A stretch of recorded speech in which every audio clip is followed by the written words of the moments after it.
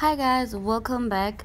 So every morning when I wake up, I have a cup of warm water and a smoothie with like four to five fruits, courtesy of my mom. Shout out. But I couldn't get the smoothie into the clip. Anyway, right now I'm breastfeeding and this is our first feed of the day. Normally takes about 15 minutes, but today took 10 minutes or less because she was still sleepy. So yeah um, I burp her and then after burping her I put her back to bed because she was still sleepy. So after that I then have my warm water which mom says it's supposed to help with shrinking my stomach back to almost what it was before I feel pregnant or what it was I don't know. Um, and also some health benefits something with drinking water in an empty stomach in the morning um, I then go back to sleep and wake up at half past eight. I then wake up at half past eight and start making the bed and getting ready for the day.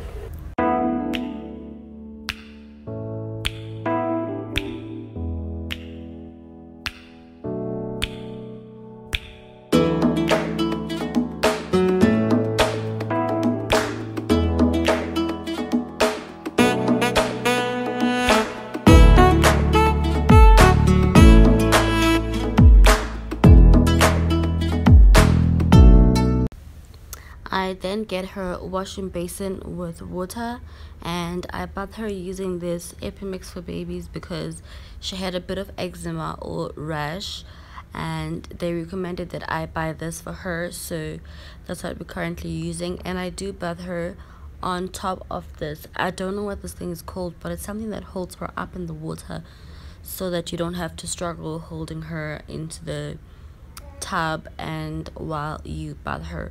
So i just bath her on top of that and by the way you guys lighting in this bedroom is so bad. One minute it's really dark the next it is so so wide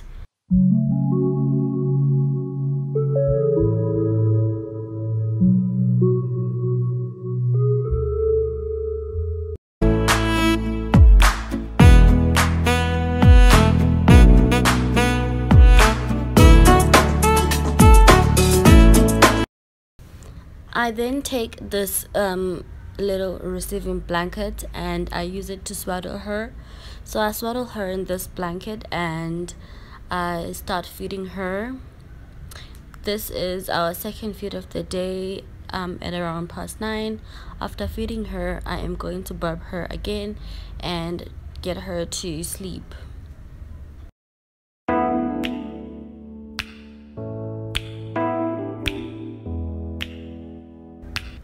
So right now i'm also having my second smoothie of the day which is basically just um one banana and milk.